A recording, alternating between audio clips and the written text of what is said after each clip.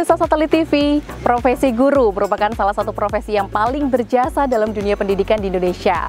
Meningkatnya mutu pendidikan dan juga pembelajaran di Indonesia tentunya berkaitan erat dan beriringan dengan mutu-mutu para guru sejak masa perkuliahan. Nah, saya Aini sudah ada di Fakultas Keguruan dan Ilmu Pendidikan Universitas Muhammadiyah Purwokerto atau FKIPUMP akan mengajak Anda pemirsa untuk menilik bagaimana calon-calon guru yang dipersiapkan dan juga program-program yang ada di FKIPUMP. Mari simak perbincangan kami dengan Bapak Dr. Andes Eko Suroso MPD selaku Dekan Fakultas Keguruan dan Ilmu Pendidikan Universitas Muhammadiyah Purwokerto tentunya di Satelit TV Inyong Apple.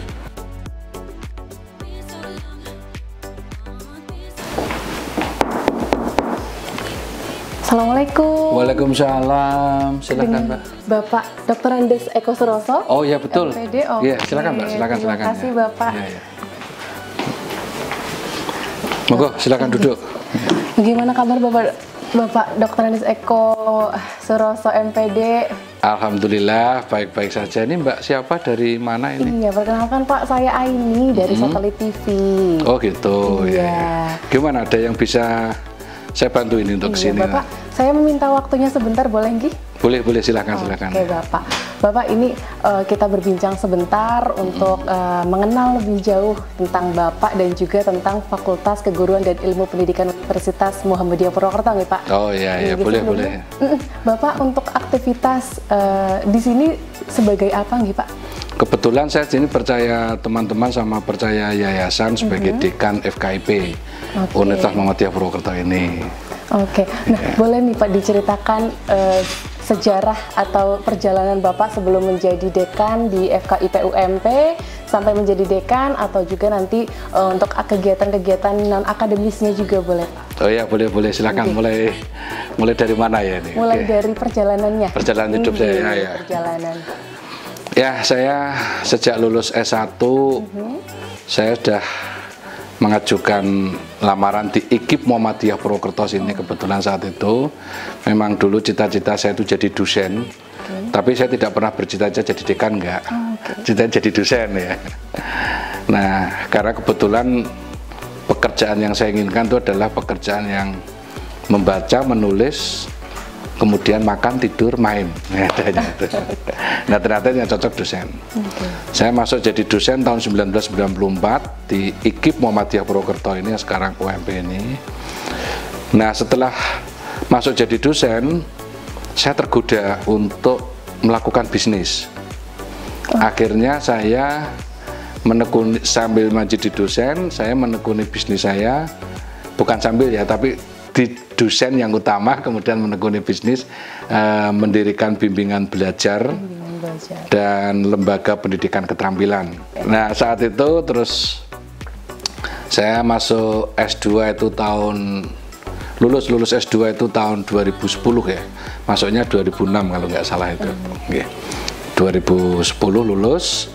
Nah setelah lulus S2 itu saya ditawari kaprodi pendidikan bahasa Indonesia kebetulan jurusan saya itu bahasa Indonesia, Indonesia. untuk menjadi sekretaris prodi. Sekretaris Prodi. Selama ini kan saya mungkin terlalu sibuk ngurusi bisnis saya dari tahun 94 sampai 2010 itu. Sehingga saya mendapat sedikit peringatan dari Allah dengan tertipu teman itu akhirnya sampai usaha saya agak terjun bebas ya. Oke. terjun bebas sampai akhirnya saya disadarkan 2010 itu ketika membaca sebuah hadis yang berbunyi begini. Jadi saya tuh nggak sengaja buka-buka hadis itu kok ada hadis yang adalah bukan umatku jika tidak mau mengurusi umatku. Hmm, Oke. Ya, begitu baca hadis ini saya agak sedikit kaget dan bergetar yaitu jangan-jangan ini dosa saya yang terbesar mungkin ya sehingga sampai Allah menghancurkan usaha saya. Setelah saat itu saya sudah mulai menyesuaikan diri dengan keputusan Allah, ditawari jadi sekretaris. Kalau memang teman-teman prodi itu mengiyakan saya untuk jadi saya, saya mau. Nah ternyata teman-teman prodi mengiyakan saya jadi sekretaris prodi 2010 sampai 2013 kalau nggak salah itu. Terus kemudian ditunjuk pula oleh universitas itu sebagai ketua humas dan protokoler. Pokoknya tunjukkan orang ini saya anggap Allah yang menggerakkan orang itu untuk menunjuk, maka saya ikuti aja. Oke. Jadi satu rangkap jabatan ya. sebagai sekretaris prodi dan sebagai ketua humas dan walaupun tunjangannya satu, tapi itu saya anggap dari Allah udah saya ikuti aja. Terus akhirnya pas tahun 2013 ada pilihan kaprodi, teman-teman memilih saya jadi kaprodi Pendidikan Bahasa dan Indonesia. Tuh, terus pilihan sampai satu periode tahun 2016 adalah pilihan lagi teman-teman aklamasi seperti itu lagi sampai dua- 2016 sampai 2020 ya 2020 jadi kaprodi P2 dua periode. Terus kemudian tahun 2020 itu pilihan dekan terpilih ada tiga termasuk tiga besar. Nah tiga besar itu di tingkat universitas dipilih satu dari yang tiga ini. Ya ternyata kok nggak tahu.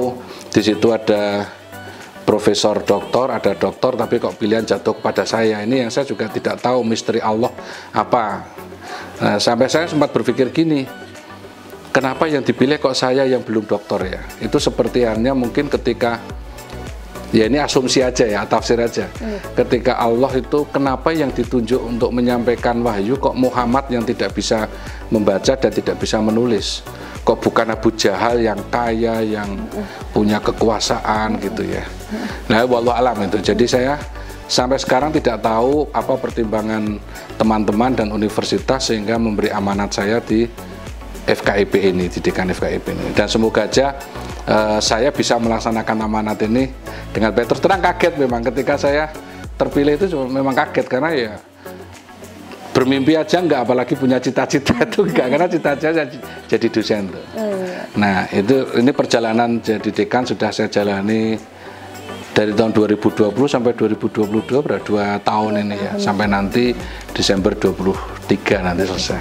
Sangat inspiratif untuk em, teman-teman mahasiswa dan juga mungkin nanti calon-calon mahasiswa Ya, FKIP semoga aja. sendiri itu ya Pak Amin, ya. ya, yang ya. pastinya eh, dengan modal passion dan juga pastinya semangat ya Pak ya Hmm. Ya, dari eh, cita-cita itu apa pun yang bahkan tidak dicita-citakan sama sekali bisa diberikan kepercayaan Iya, itu ya Pak. ya. iya. Bapak eh, ngomong-ngomong saya boleh sambil jalan-jalan atau sambil boleh eh, kita apa ya muter-muter untuk FKIP sendiri boleh Pak? Boleh, boleh silakan nanti mana yang udah itu. Oke, Pak.